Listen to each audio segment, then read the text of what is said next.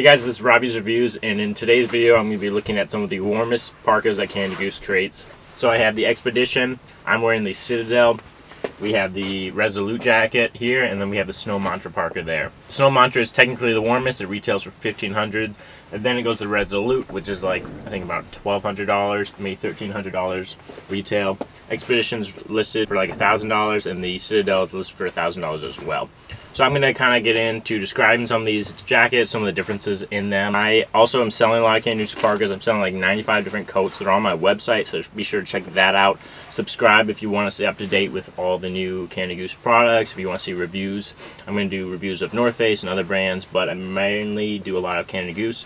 Alright, I'm going to start with the big kahuna here. This is the Snow Mantra. This thing is massive. So this is a large, um, but if you're looking to get any of the any size of Snow Mantra, be aware that they run two sizes up. This is true for the Resolute and the Expedition. So people that usually wear like a men's large um, find that the small and Expedition fits them pretty well. And that's pretty much um, true for these Resolute and the Snow Mantra. They're made to be more of a relaxed fit because you can layer you can layer a lot with them and the more air pockets you have inside your jacket, the warmer you'll be. This thing has the most bells and whistles of all these other jackets. You have details that I'm not going to get into. I've done a review overview of the Snow Mantra. If you want to look at the specific details of that of this jacket, you should check that video out. But this jacket just has a crap ton of pockets. You've got Napoleon pockets, you've got ID badge pockets, you've got arm zipper pockets. You have these straps up here that can pull you up. They're meant for like pulling you up if you fall on the ice. So this thing is pretty heavy duty. All the snow mantras that I've ever come across have just massive coyote fur ruffs on them. So this one, as you can tell, this thing is like half a coyote here. Um, you've got this kind of chin guard, I think. You can put it over your face, serves as a protectant. You got this other fleece chin guard there as well. I mean, this thing is loaded with stuff inside. Inside the jacket, you have a snow bib.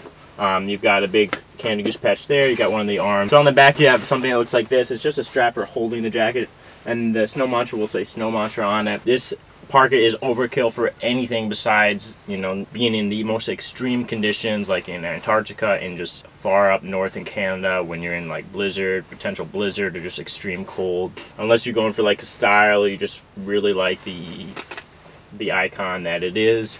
Um, you're not going to need this in anywhere really in the cities or in the states, maybe like northern Minnesota, North Dakota or something, Montana possibly, but it's pretty much overkill for anything else. So the next up is Resolute. Now this thing is massive as well. Um, it's got a little bit less bells and whistles than the Snow Mantra Parka, but you still got a lot of these straps or holding stuff on them. You've got reflective strips, you've got ID patches, ID badges here you know, if, when you fall and you drown in the ice, people can identify who you were if you have your ID on you, so that's nice. Fur ruff on the Resolutes are also massive as well, as you can see here. So these things are um, not, there's not quite as much down if I'm just to kind of eye it and feel. The Snow Mantra in like one arm of the Snow Mantra, you probably have as much down as like a, I don't know, like a Columbia North Face puffer jacket. So there's a little less down in the Resolute.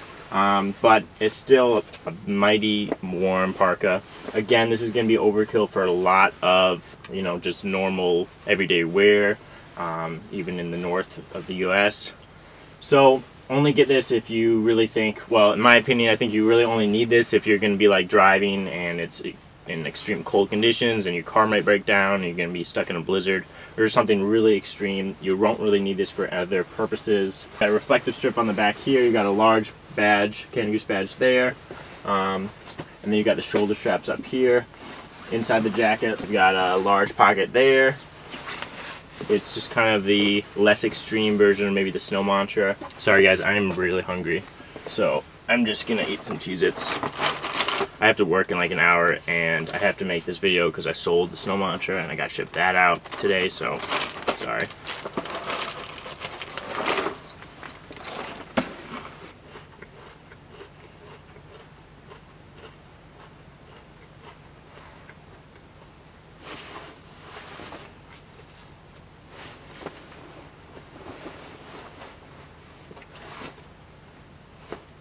Alright, I'm ready.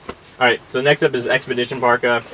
The differences with the jacket is just, it's a little less extreme. You got less bell, bells and whistles on it. You still got lots of pockets. You got these two pockets here. You got hand-worn pockets underneath that. You got drop-down pockets. You got a pocket in the side of that. Inside the jacket, you have another snow bib. You have the large Canada Goose patch here. Um, and smaller, definitely a much smaller fur ruff. This fur ruff is not removable. Um, for the Expedition, this is again is, in my opinion, like overkill for a lot of weather. This thing I can understand if you're in like northern Minnesota, northern Wisconsin, North Dakota, Montana, and you know you just spend a lot of time outside. You're like, you know, snowmobiling. I can understand getting um, the Expedition for those purposes. I still don't think this is a great parka for the city. It's just really heavy. It's really bulky and it's overkill. But this is a really well designed jacket. It's one of the more famous Canada Goose jackets. Um, and I do recommend it for you know extreme activity outside. When you have a scarf and a hat on, the fur and the hood will keep you really warm. It'll really protect your face from the elements. Alright, lastly is the Citadel jacket, the one I'm wearing. So the reason I included this is just because it's really similar to Expedition. As you can tell, the front of it looks almost identical to the Expedition. This jacket the differences between this jacket and the Expedition is just that it's actually made for people to live in the city a little bit more. So it's still pretty bulky and big, but it's a slimmer fit.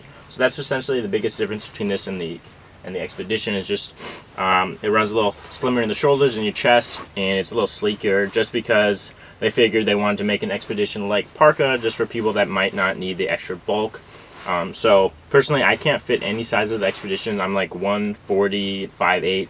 Even the extra small in the Expedition on me just looks really massive. The Canada Goose Citadel small fits me pretty well since it's a slim fit. I can fit the extra small just barely. If you if you really like the aesthetic of the Expedition, but you live in a climate where you might not need it, or you just might need to find a jacket that fits you appropriately, the Citadel jacket will be a pretty good option. in That, like I said, it's essentially identical in a lot of other ways. Um, you got a drawstring here. You don't actually have the snow bib in the X, the Citadel jackets. So if that's a feature you really like for some reason, you'll have to go with the Expedition. The, the jacket I'm wearing is kind of a rare edition. It's a sand, sand color.